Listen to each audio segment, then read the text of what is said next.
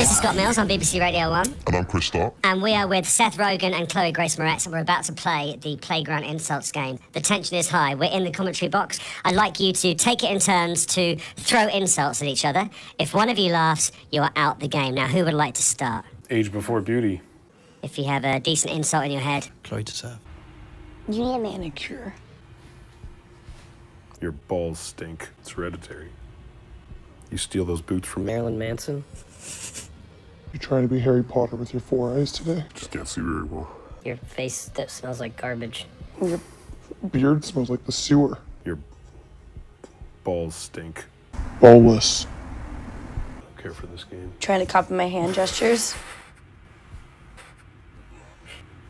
I got her on her heels, guys. back to the insults. your butt stinks. It's Europe. It's included. You need a little bit of gray in your beard. You have a little bit of gray in your balls. You don't need a tip. exactly. Don't worry about it. You have a Butt freshener. on set At all times. I've met her. Her name's Sharon.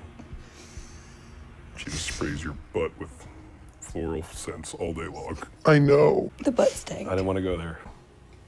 You have dick rings on your pants. I believe in the in Europe these are known as Prince Alberts. There's Eight Prince Albert less dongs out there. there. They couldn't even pierce yours. so small. yep. Damn it, she's right. You have 20 glasses because hipster.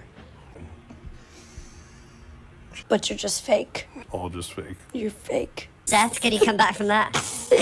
No. Chloe Grace Moretz and Seth Rogen. good Playground game. Insults, and what a what a match it was. What a game. Good, good work, guys. Thank you so much.